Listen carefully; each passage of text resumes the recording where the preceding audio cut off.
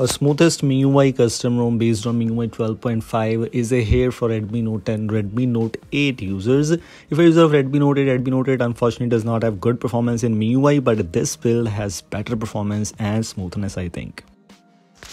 The version which I'm talking about here is of course MIUI 12.7 by Microsoft 22.2.21 beta version. Of course, a modified version for the Redmi Note 8 users. Things are almost same here. You can see the maintenance, updates channel and new cell. Everything is already available. As always, all credits to the developer. Based on Android 11 as it is not based on MIUI 13 so it will not give you Android 12. Even in MIUI 13, Redmi Note 8 still has Android 11 of course as a port ROMs. I think so. If you're able to notice one thing here, you don't have much apps available by default. I haven't installed any other apps just to show you that it does not come with many apps. A lot of bloatware things have been removed and it is I think so a good thing about this one the default launcher things of course the default updated launcher is present here. You can see this launcher animations etc the app world of course it will not give you the new widgets which you get in MIUI 13 all the MIUI 12.5 features are already present. The Chinese app world it's based in China. It's not actually EU EU has I think so not a good performance. But in this one you have very very good performance. It's smooth enough.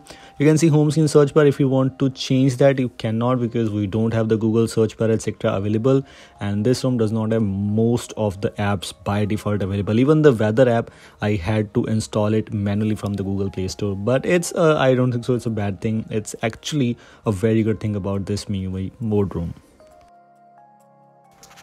talking about the camera section the camera section seems to be almost same. There are no major changes. If we move on to the more section you might notice 48 megapixels short videos panorama slow motion time lapse night mode etc etc everything is present. Also in MIUI 13 mode you only have the MIUI 13 gallery but in this one you don't have that.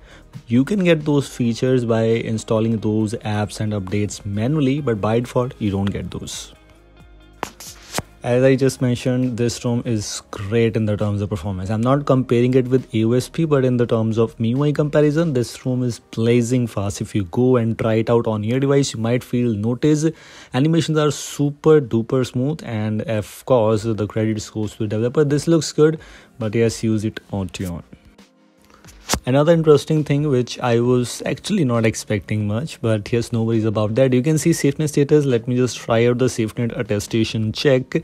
And SafetyNet status in my case having no issues. You'll be able to use banking apps on a device. You can use your device without root if you want to. As you can see, I haven't rooted my device and SafetyNet status passing by default. I will not be facing any issues while using banking apps or any other app which does not support rooted devices. So it's absolutely good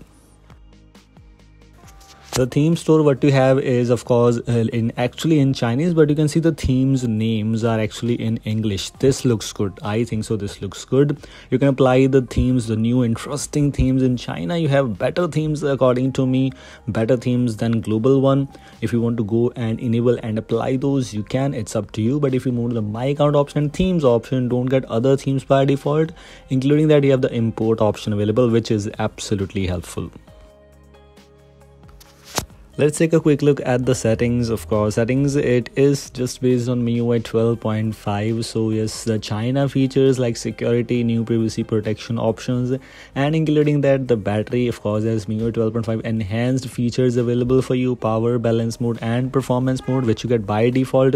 All these things are included. And including that you have the memory extension feature of course available which was expected. And yes things are basically same Last but not the least, the special features. Of course, Game Turbo the same kind of things which you get here where you move on to the settings option which is basically game turbo. And even it is not updated to the game space but a lot of things you can do manually if you want to by installing the new security app by installing some new media player things. If you want some news useful MIUI 13 apps on your device a lot of videos available. I made a video already on that one. Make sure to check out that if you if you want to update these things. Very smooth MIUI ROM according to my opinion.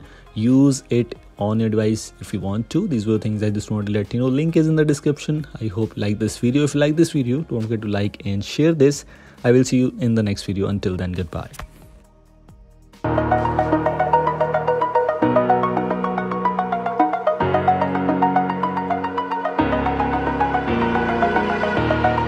Over the edge Feel like I'm floating through the air